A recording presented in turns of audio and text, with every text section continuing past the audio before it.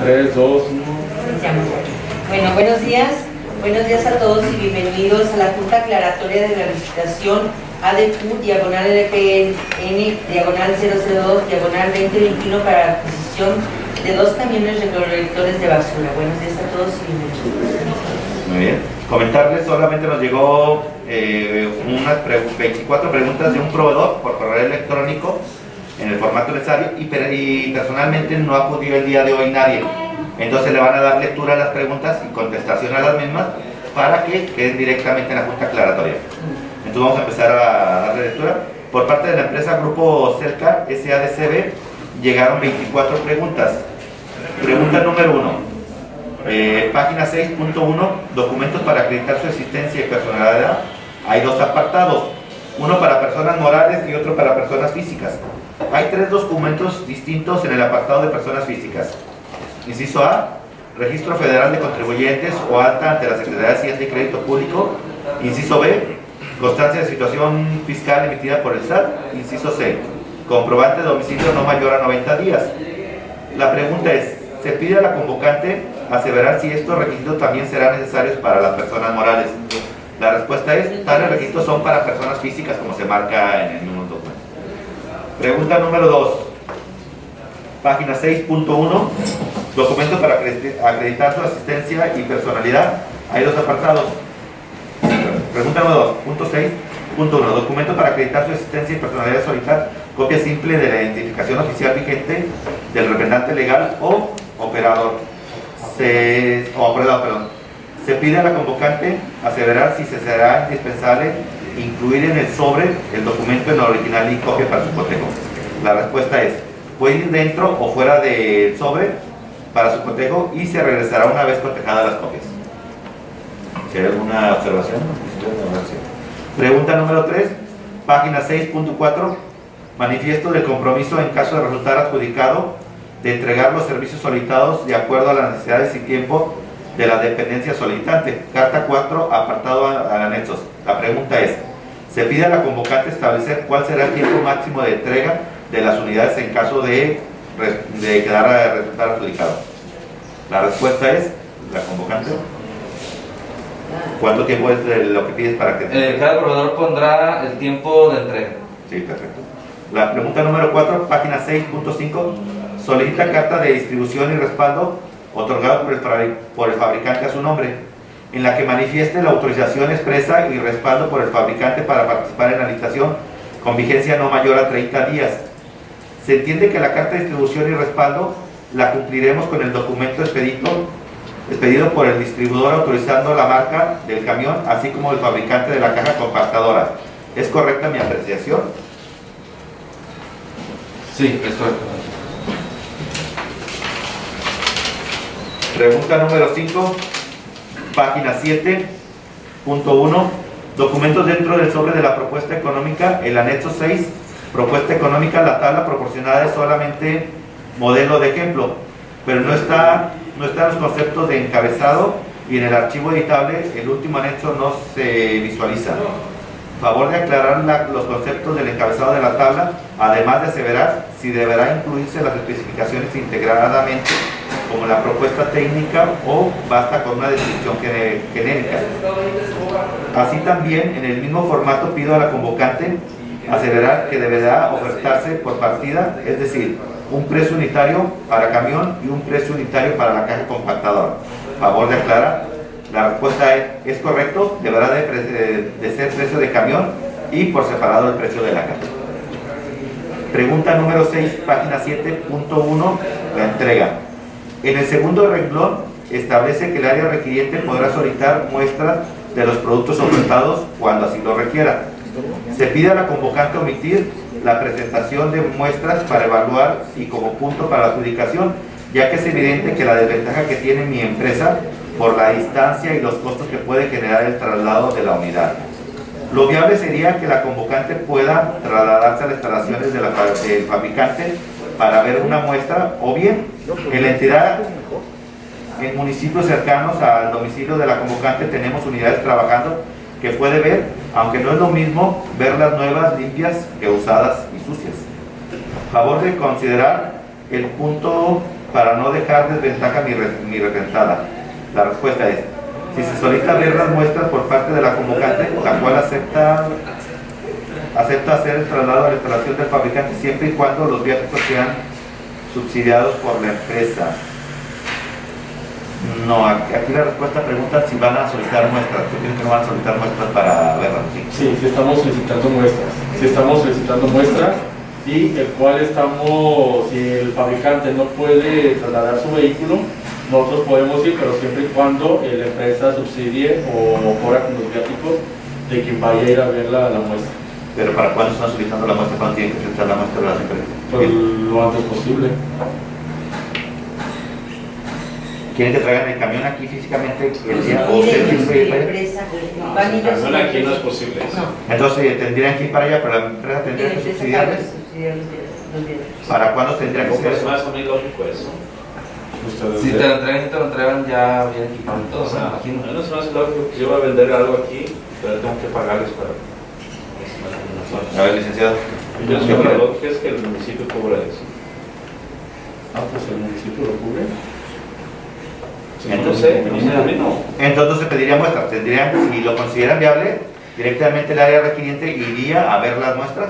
Pues ver, a ver dónde están trabajando, si están narrando, si están... en- Ah, pero lo más cercano que tengan una unidad para poder ver, que sea por parte de Lo que pasa es que ahorita ahorita todavía no hay, son preguntas. Para las 100 semanas son la apertura de sobres. Dependiendo de las empresas que lleguen, ustedes acudirían a verlas si lo consideran es conveniente. Si lo consideran conveniente. Sí. La, respuesta es, no se solicitaría muestra. En caso de creerlo conveniente, el área requiriente iría físicamente al área de la empresa, de la- del fabricante.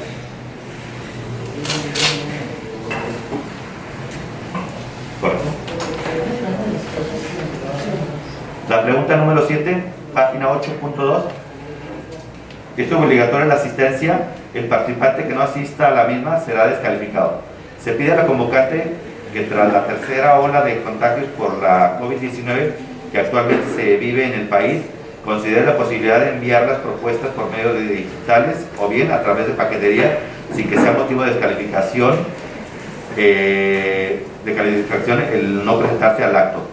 La respuesta sería apegarse a la convocatoria, que es directamente traerla aquí directamente los documentos, por si al caso no llegaran, no sea cuestión de nosotros. Entonces, apegarse a la convocatoria. La, eh, pregunta número 8, página 8.2, inciso C e inciso D. En la primer inciso piden, deberá asistir el representante legal o un representante de este con carta de poder simple. Y en el segundo inciso, solita manifestar de facultades suficientes. La primera duda, en caso de presentarse el representante legal, ¿será necesario presentar algún escrito o documento que lo demuestre? Segunda duda, el manifiesto que solicita el mismo que se establece en la página 5.2, documento fuera de los sobres. La respuesta es con carta simple bajo protesta de decir verdad, que él es el representante legal en caso de venir el representante, y es en este mismo que se manifiesta que puede venir fuera del, que viene fuera del sobre. Pregunta número 9, página 8.3. Contenido de las propuestas, inciso A. Las propuestas deberán entregarse dentro de la carpeta de tres argollas con separadores. La pregunta es, ¿se pide a la convocante aseverar que en caso de no presentar así, será motivo de descalificación? La respuesta es favor de pegarse a las bases de la presentación, que ahí viene especificado cómo se deberán de entregar. La pregunta número 10, página 9.3. Contenido de las propuestas, inciso E. Se pide a la convocante aclare si en caso de presentarse el representante legal deberá acompañar copia, anexo, carta 2, carta para participar en el acto de la presentación de la propuesta. La respuesta es correcta su apreciación. La pregunta número 11, página 12.20, fecha y lugar de condiciones de entrega. Se pide a la convocante establecer el tiempo máximo de entrega de las unidades del lugar de entrega, así también aclarar si el tiempo de entrega será considerado para la adjudicación por sobre todas las garantías y la calidad. La respuesta es, el tiempo de entrega es sugerido por el proveedor y el lugar de entrega se solicitará sea en la ciudad de Tepatilán de Morelos, Jalisco. Pregunta número 12, página 13.23, requisitos y formas de pago. Se pide a la convocante aclare cuál es el tiempo máximo para el pago. Una vez concluidos los procesos de entrega de los requisitos, así como las facturas y demás requisitos. La respuesta es, que nos la dio aquí directamente el tesorero, una vez concluido el proceso de entrega de documentos para la elaboración del contrato y una vez firmado, el pago se hará de forma inmediata. Eh, llegando a la cuenta por pagar a egresos, pues. Perfecto. Le agrego entonces después del, del- contrato firmado y elaborada la por cuenta pagar. Y elaborada la cuenta por factura. La pregunta número 13, página 19, anexo 1, propuesta técnica, partida 1. En relación a las especificaciones mínimas del camión, se pide a la convocante ponderar que tendrá mayor impacto para la adjudicación. ¿Qué es lo que tiene mayor impacto? La marca, el tren motriz, motriz motor considerado potencia y torque, transmisión, relación de cambios, cabina convencional o cap over, ya que en el mercado actual hay variedad de camiones que cumplen con y superan los solicitados. La respuesta es, se valorará el conjunto. La pregunta número 14, página 20, anexo 1, propuesta técnica, partida 2, caja compactadora, carga, ca- carga trasera, las especificaciones solicitadas son particularmente de la marca Salazar Equipos. Si bien apunta textualmente que son especificaciones mínimas a cumplir, también hay que considerar que alguna especificación no se puede cumplir por el diseño de la caja. Se pide a la convocante se mantenga abierta a considerar especificaciones técnicas propias de mi marca, en donde va a haber variación de algunos materiales como estructura, estructuras y refuerzos principalmente, pero siempre van a igualdad o superar la calidad resistencia del acero. La respuesta es, queda abierta a todas. La pregunta número 15, página 20, anexo 1, propuesta técnica, partida 2, sistema de compactación. Se pide a la convocante y área usuaria aclare el punto de- del sistema de compactación automático que garantice el, el óptimo aprovechamiento de su capacidad de carga y volumen. Se considera un sistema semiautomático, ya que es necesaria la intervención del operador para activar el barrido y la compactación y el regreso inicial del sistema. La respuesta es, se, puede considerar un sistema semiautomático. La pregunta 16, página 20, anexo 1, propuesta técnica, partida 2, estructural del cuerpo del caja de acero de alta resistencia ASTM-A36. Piso lámina calibre 10, techo lámina calibre 10, cuerpo lámina calibre 10, laterales, postes y anillos completos de 6 y media pulgadas por 3 pulgadas, lámina calibre 10, escudo compactador, lámina calibre 10 y un cuarto y PTR de 3, de 3 pulgadas y 4 pulgadas. Tolva, piso de un cuarto pulgadas y lateral de calibre 10, componentes en lámina calibre 10, 3 16 de pulgada, un cuarto de pulgada y media pulgada y una pulgada, con sistema hidráulico para barrido y compactación e inyector de lámina calibre 10.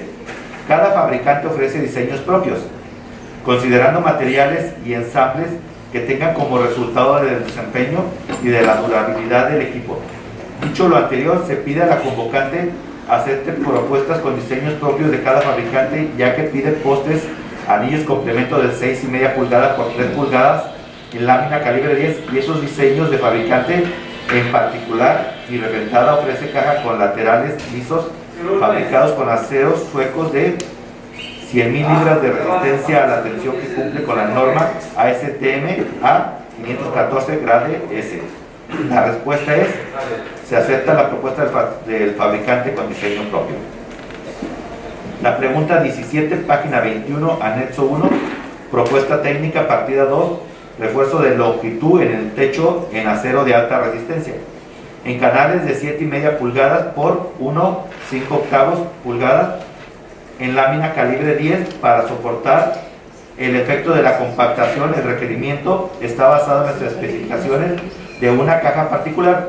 Dicho lo anterior, se pide a la convocante acepte propuestas con diseños propios de cada fabricante, por lo que el refuerzo será longitudinal en la dirección que esté unida a la lámina de acero y tendrán variación la medida requerida a favor considerar para la evaluación. La respuesta es si acepta la propuesta del fabricante con diseño propio. La pregunta número 18, página 21, 21, anexo 1, propuesta técnica, partida 2 del sistema eléctrico.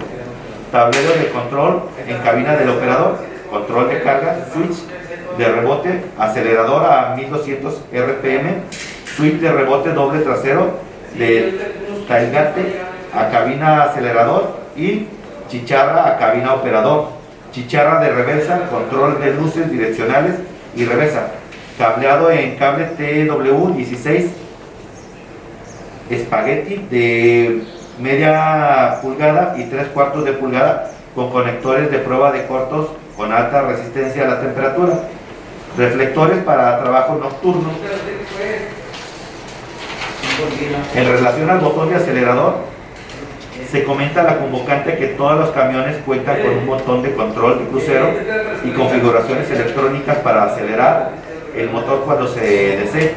Se pide a la convocante acepte usar esta herramienta propia para la aceleración del motor sin necesidad de adaptar equipos adicionales que afecten la garantía del camión. Al solicitar alarma de aviso del operador del camión, considero que el interruptor de aceleración del motor trasero está de más. Las luces se toman de la línea original y se activan con controles de botones de origen de camión, por lo que no es necesario agregar controles extras. Las extensiones de cableado se realizan con cable calibre 16 y se utilizan conectores automotrices aislados para evitar cortos.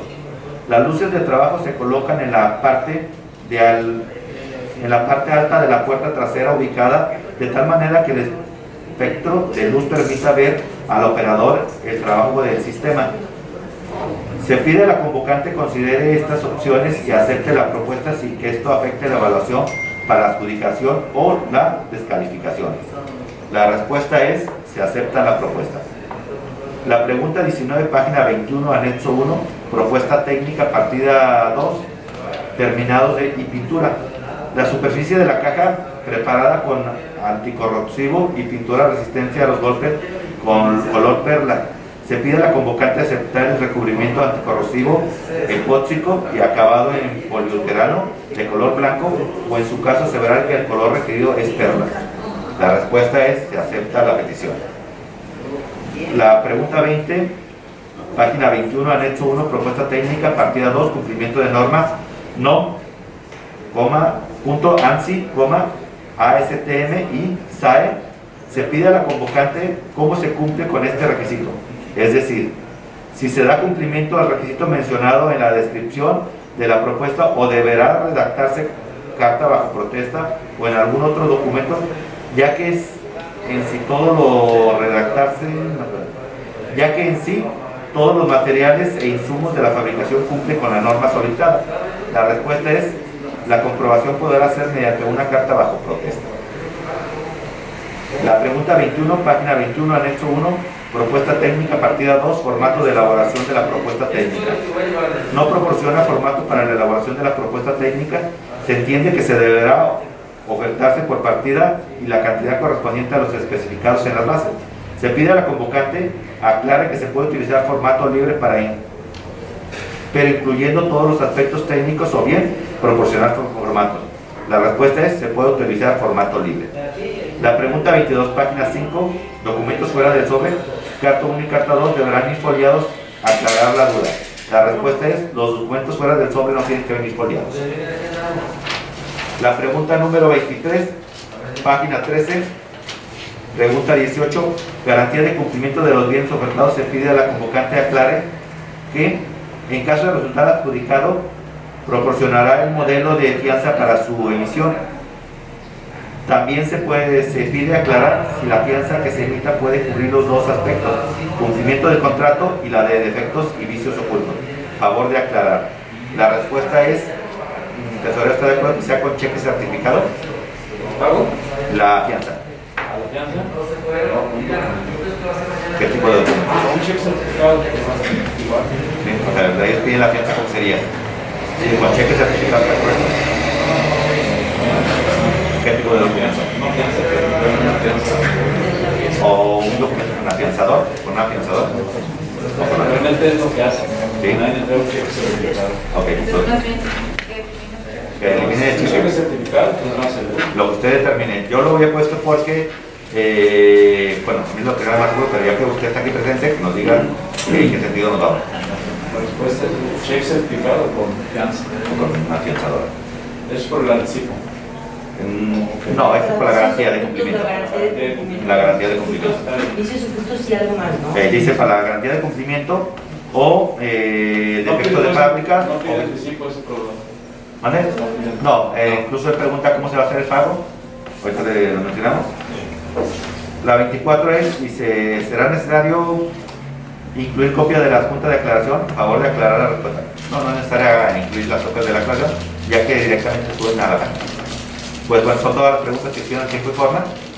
Vamos a elaborar el acta y ahorita procedemos. Gracias, David.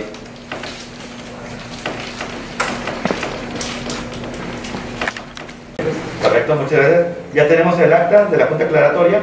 Debido a que, bueno, las preguntas eran muchas, someto a consideración del comité en omitir lo que vienen siendo las preguntas, nada más darle inicio de todo lo demás y las preguntas omitirlas. ¿Quién está a favor de que se omitan las preguntas? Don Jorge, señora Carmelita, por favor. A favor que se omita. Perfecto. Junta Aclaratoria de la Legislación Pública Nacional, ADQ, LPL, diagonal 002, diagonal 2021, para la adquisición de dos camiones recolectores de basura. Siendo las 10 horas con 19 minutos del día 17 de agosto del año 2021, en la sala de juntas de la Dirección de Proveeduría de Tepetlán, Morelos, Jalisco, ubicada en Avenida Matamoros, número 814, local 7, Colonia Centro de Tepetlán, Morelos, Jalisco, fundamento en el artículo 63, fracción primera de la Ley de Compras Gubernamentales, Enajenaciones y Contratación de Servicios del Estado de Jalisco, sus municipios, así como el artículo 163 165 del Reglamento de Compras, Bienes y Contrataciones de Servicios para el municipio de Tepetlán de Morelos, Jalisco, se dio inicio a la Junta Aclaratoria de la Educación Pública Nacional ADQ, diagonal LPN, diagonal 002, diagonal 2021, para la compra y de adquisición de dos camiones recolectores de basura, estando presentes y enlazados virtualmente los servidores públicos, la ciudadana Norma del Carmen Orozco González, regidora, presidente de la Comisión de Adquisición, el ciudadano Jorge López Sosa, representante de la Cámara Nacional de Comercio y Turismo de Tepatitlán de Morelos, el ingeniero Víctor Manuel Maciel Padilla, presidente del Colegio Tepatilense de Ingenieros Civiles de Jalisco, el ciudadano José de Jesús Reynoso Flores, representante del Colegio del, no, del Consejo Municipal para Desarrollo Rural Sustentable, el licenciado Jesús Adriel Peraza López, en representación del titular del órgano interno de control, el licenciado José de Jesús Mauricio Vargas Gámez, asesor jurídico, el licenciado Plasencia Íñiguez, director de Proveeduría, así como los invitados especiales, la ciudadana María del Carmen Gallegos de la Mora, regidora, el licenciado Salvador Hernández Cedillo, encargado de la Hacienda Municipal y Tesorero, asimismo la- el licenciado Juan José Navarro González, jefe de patrimonio, y el ciudadano José Fabián Martínez Villalobos, jefe de aseo público como área requiriente, Martín, perdón, José Fabián Martín Villalobos, área requiriente. La bienvenida estuvo a cargo de la presidenta del Comité de Adquisiciones, la regidora Norma del Carmen Orozco González, quien procedió al uso de la voz, el licenciado Fernando Íñiguez, quien dio lectura a las preguntas que recibieron en correo electrónico por parte de la empresa interesada, siendo la empresa eh, Grupo Cerca SASB. Y se dio por terminada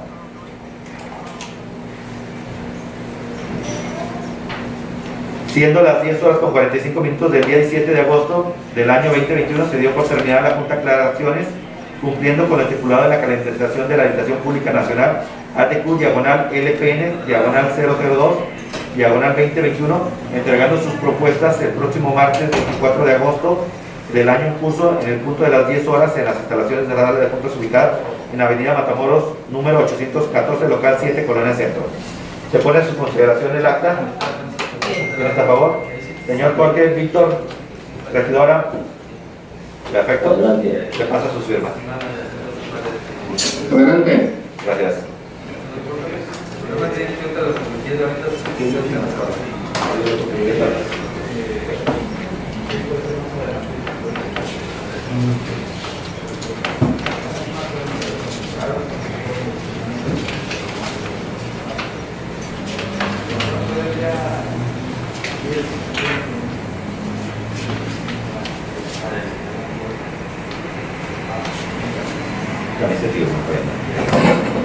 Gracias ver a dónde, dónde van a sacar ese dinero y iniciar esta temporada.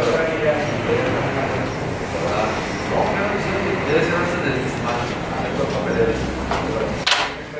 Pero, pero el problema de la verdad Sí, sabes que hoy está, nos vamos a pegueros, echar el camino de. Camino Maquelles, entonces se sale. Maquelles. Salvando servicios, una, al cual era la tierra mismo de este, ¿no? Sí, también.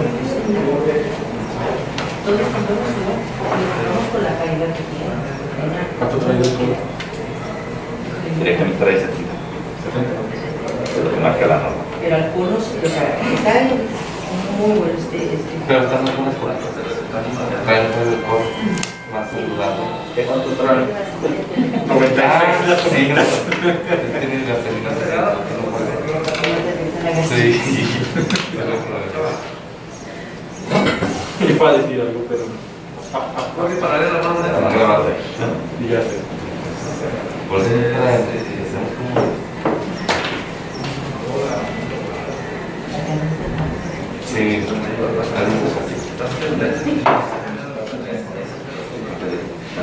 a estar a mitad de la lo No, entonces, no, deja eso. Las se quejan ahí. No, son bajos. Son un más, más arriba de. La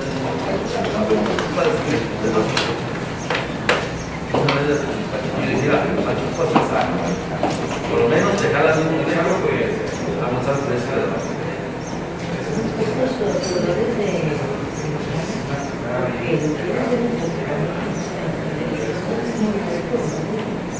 Más fácil, más fácil de sacar. Mi trabajo.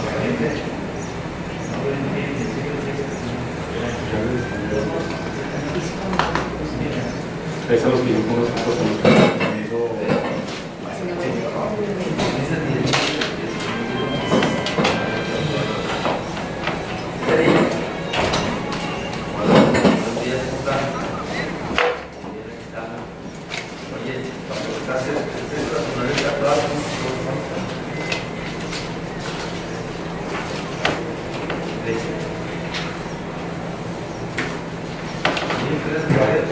La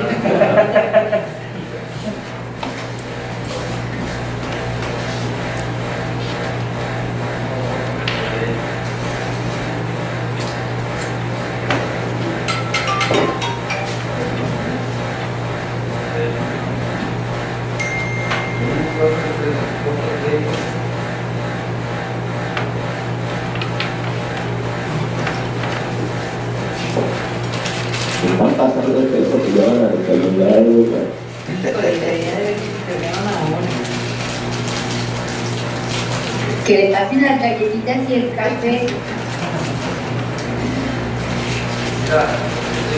Oye, por favor, que se los pasen. A mí ya me pasaron el café. Si pueden. Perfecto, muchas gracias. Muchas gracias, David.